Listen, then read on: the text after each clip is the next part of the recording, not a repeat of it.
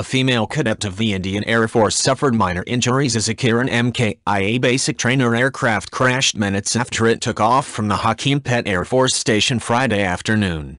It was on a routine training mission for the trainee pilot. It crashed around 35 miles northeast of the base. The trainee pilot ejected safely and landed on the ground with minor injuries. A court of inquiry has been ordered to ascertain the cause of the accident, the Indian Air Force said in a statement. According to local witnesses, parts of the aircraft totally disintegrated midair and fell over a large area near a building under construction and burned to ashes.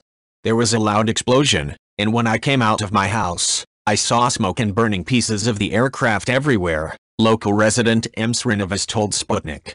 If you all like this video please leave a like and subscribe.